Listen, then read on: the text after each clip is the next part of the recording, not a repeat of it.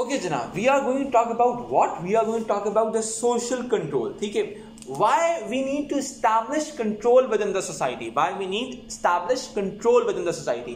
देखो, जब मैं बात करता हूँ ना सोशल कंट्रोल की तो जब जब सोशल का वर्ड आएगा, इसका मतलब है हम सोसाइटी की बात कर रहे हैं। कंट्रोल स्टैंड फॉर कि मैं सोसाइटी में एक चीज़ को मेक श्योर sure कर दूँ what to do and what not to do क्या करना है आपने और क्या?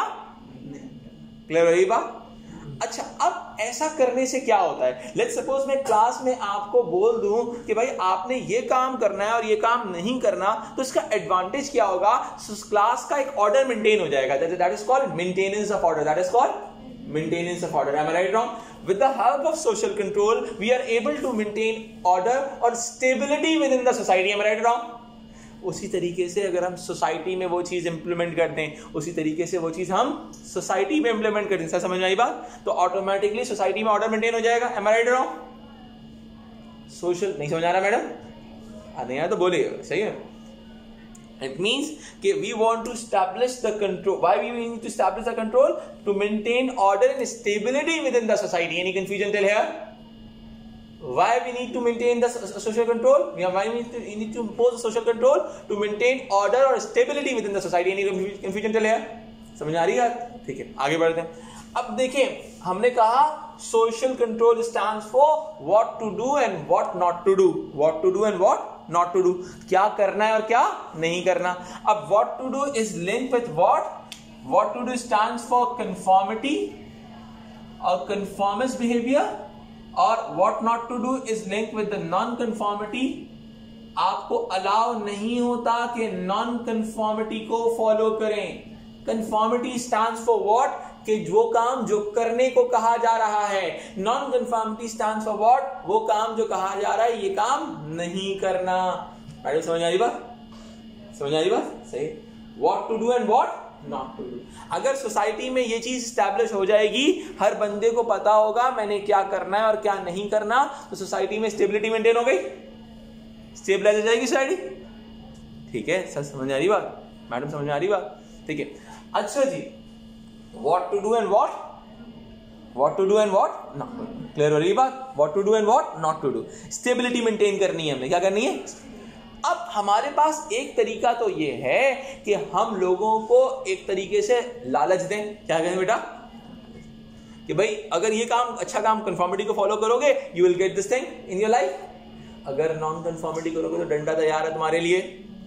Punishments the point who is going to impose this social control who is going to impose this social control we need to understand this thing अब सवाल ये है हु हमारे पास होती हैं एजेंसीज ऑफ़ सोशल कंट्रोल हमारे पास क्या होती हैं? एजेंसीज ऑफ़ सोशल कंट्रोल हमारे पास दो तरह की एजेंसीज ऑफ़ सोशल कंट्रोल होती हैं। अब देखो एक्चुअल के अंदर ये सोशल इंस्टीट्यूशन ही होते हैं। क्या होते हैं बेटा? सोशल अगर थोड़ा सा इनकी बैकग्राउंड स्टोरी आपको समझाऊं सोशल इंस्टीट्यूशंस की social stand for society institution stand for इदारे एम आई राइट सोसाइटी के इदारों की बात करें, अब हम क्या स्टडी करें? We are studying sociology sociology stand for what the study of society am right wrong study of society and what is meant by society अगर मैं सोसाइटी को एक्सप्लेन करूँ तो society is made up of multiple social institutions am right wrong society is made up of multiple social institution society बहुत सारे इदारों से मिलकर बनती है. It means family education media religion state peer group am right So what it means, I'm going to talk about a very simple phenomena that we are going to talk about the agencies of social control. यही agencies of social institutions जो हैं यही social institutions जो हैं इनको हम agencies of social control भी कहते हैं because they are going to maintain the order within the society. They are going to impose the control system within the society. On the other hand, we, we used to call them as the agencies of socialization because ये social institutions socialization भी interaction भी करती हैं. Am I right wrong?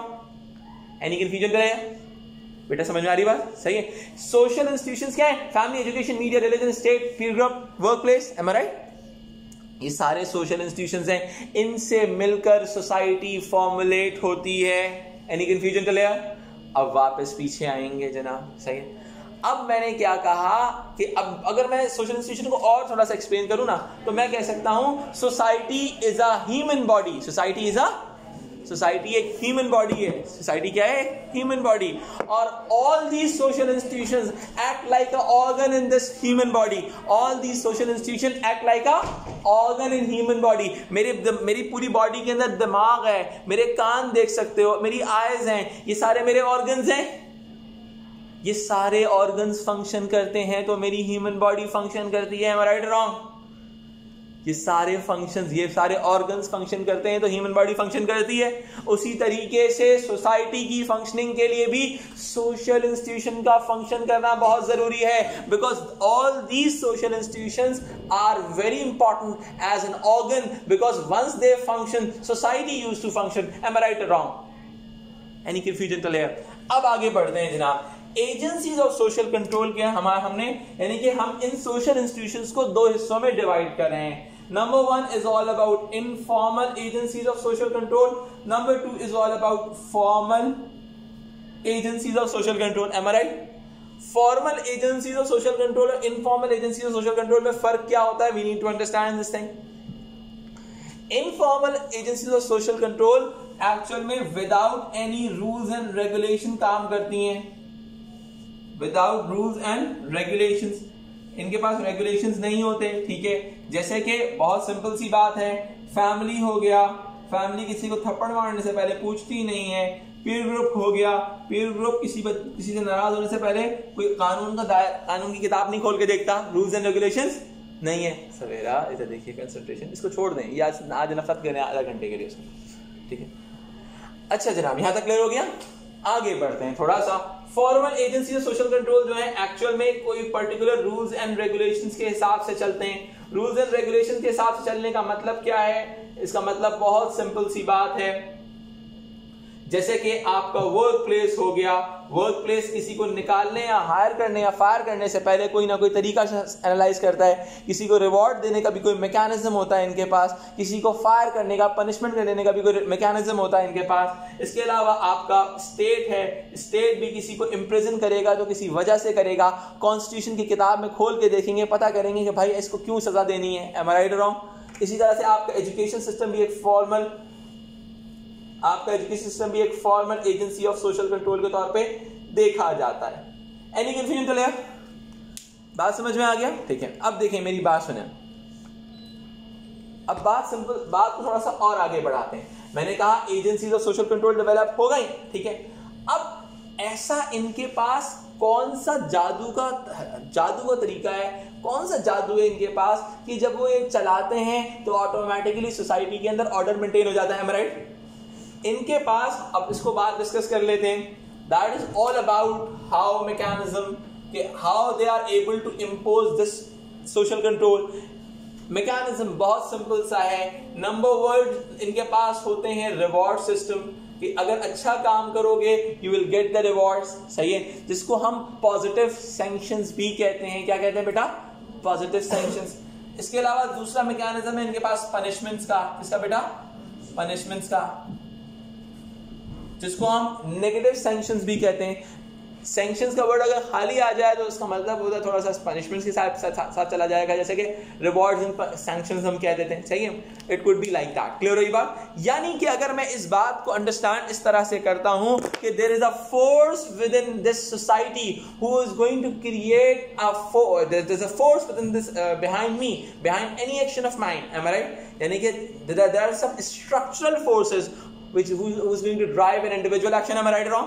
यानी कि ये agencies of social control एक structural force impose करेंगी मुझ पे और मुझ पे मुझसे एक्सपेक्ट करेंगी कि मैं सोसाइटी के अंदर कन्फॉर्मिस्ट बिहेवियर को फॉलो करूँगा और नॉन कन्फॉर्मिटी से अपने आप को बचाऊँगा एम राइट रॉन्ग ऐसा ही है? ऐसा ही है। यानी कि there are some structural forces जो इंसान को मजबूर करती हैं to act in a certain way am right wrong any confusion चलेगा there are some structural forces जब मैंने कहा there are some structural forces तो इसका मतलब क्या है कि कोई एक फोर्स एक मुझे मेरे एक्शन को ड्राइव कर सकती है। राइट रॉन्ग सोशल कंट्रोल के मैकेनिज्म की वजह से? किसी को कोई मसला यहाँ तक? यानी कि सोशल कंट्रोल का मैकेनिज्म मेरे किसी एक्शन को ड्राइव कर सकता है। यहाँ तक समझ में आती है? अब क्या है? देखो एक्चुअल में सोसाइटी के जितने भी सोसाइटी के अगर हम ऑब्जेक्टिव की बात करें, उसका मतलब ऑब्जेक्टिव ये होता है कि सोसाइटी के अंदर एक स्टेबिलिटी मेंटेन हो जाए, एक ऑर्डर मेंटेन हो जाए। उस ऑर्डर की मेंटेनेंस से बेनिफिट ये होता है सोसाइटी में एक हर चीज़ स्टेबलाइज हो जाती है। देखो मेरी बात सुनो बिजनेसेस को स्टेबलाइजेशन चाहिए right wrong otherwise stock market up and down होती रहेगी। कभी ऊपर जाएगी, कभी डिप करेगी लाइक दैट ठीक है? तो ऑटोमेटिकली क्या है? बिजनेसेस आपके अनस्टेबल हो जाएँगे क्योंकि आपका इन्वेस्टर जो है, उसको ट्रस्ट नहीं है हालात के ऊपर। इन्वेस्टर्स को बिजनेसेस को स्टेबिलिटी चाहिए होती है राइट रॉन्ग तो आप ऑटोमेटिकली अगर हम कहें कि सोसाइटी का ऑब्जेक्टिव स्टेबिलिटी है तो ऑटोमेटिकली स्टेबिलिटी तब डेवलप होगी जब सोशल कंट्रोल का मैकेनिज्म इंप्लीमेंट होगा मैं राइट रॉन्ग सही। एनी कंफ्यूजन टेल इस बात के साथ हम दूसरा कॉन्सेप्ट लिंक करते हैं। That is all about determinism क्या है बेटा ये? हमारे पास पहला कंसेप्ट आता है डिटर्मिनिज्म का। वो कंसेप्ट क्या कहता है? समझ लेते हैं। ये कहता है structural forces drives an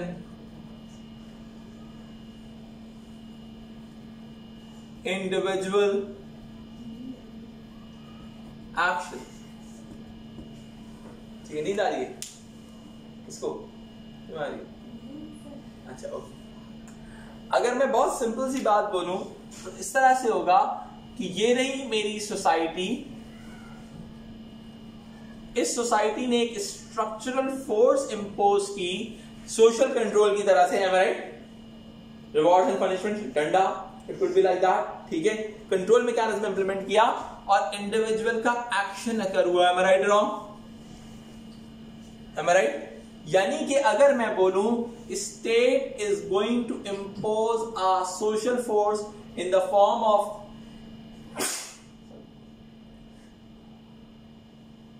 in the form of law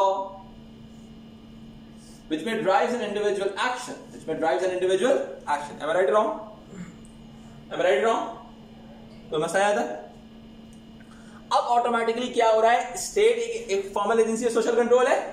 वो एक लॉ बनाएगी रूल्स एंड रेगुलेशन बनाएगी, जिससे एक्सपेक्ट किया जाएगा इंडिविजुअल का particular action am right wrong I this no madam problem madam problem problem problem नहीं समझ में आया। नहीं समझ आया। नहीं समझ आया तो बोलो। पक्का? यानी कि there are some structural forces which are going to drive an individual action कोई मसला आया तक अगर मैं ये बात कहूँ कि देर इज़ अ फोर्स सही है सोसाइटी में एक पार है जो इंसान को मजबूर कर रही है टूवर्ड्स एन एक्शन तो बात गलत होगी। स्टेट के पास पार होती है। फैमिली के पास पार होती है। एम राइट रॉन्ग सही है। वो आपका एक तरह से बिलीव बना देती हैं कि we need to act on the basis of conformity and we need to avoid the conformity am right wrong that is all about determinism कोई कंफ्यूजन यहाँ तक कोई कंफ्यूजन यहाँ तक बेटा, कोई कंफ्यूजन मैडम मैडम नहीं समझ आ रहा तो. बोलेंगे perfectly fine okay good moving forward अगर हम इस कॉन्सेप्ट को थोड़ा सा डिफरेंट देखें, बहुत सारे लोग कहेंगे कि भाई, हर इंसान कंफॉर्मिटी को फुलफिल नहीं करता। हर इंसान नॉन कंफॉर्मिटी को फुलफिल नहीं करता। ऐसी बात है? कुछ लोग अपनी मर्ज़ी से भी एक्ट करने की बात करते हैं, ऐसी बात है? तो अब वो क्यों करते हैं? इस बात को यहाँ पर हमारा दूसरा कॉन्सेप्ट जस्टिफाई करेगा। That is all about free will जहाँ जहाँ डिटर्मिनिज्म आएगा, उसके अगेंस्ट में फ्री विल अप्रोच आएगी। जिसकी, जिसके अंदर कहते हैं एवरी इंडिविजुअल इज़ डिफरेंट ठीक है? इंडिविजुअल बिलीव में lead towards may lead towards an action. यानी कि इंडिविजुअल बिलीव जो हैं, वो एक्शन का बायस बन सकते हैं rather than the structural forces rather than the structural forces यानी कि आप स्ट्रक्चरल फोर्सेस जो हैं, वो आप, आपको एक्ट नहीं कराएँगी एज कंपेयर कि हमारे पास क्या चीज़ करेंगी? हमारे इंडिविजुअल बिलीफ यानी कि अगर हम इस मॉडल को इस तरह से देख लें, ये, इसको हम आगे जाके और डिटेल में पढ़ेंगे बेसिक आइडिया क्रिएट कर रहे हैं। ये रहा इंडिविजुअल उसने, उसका पर्टिकुलर बिलीफ था, उससे सोसाइटी रन हो रही है। अगर मैं आसान अल्फाज में बोलूँ तो it would be like that believe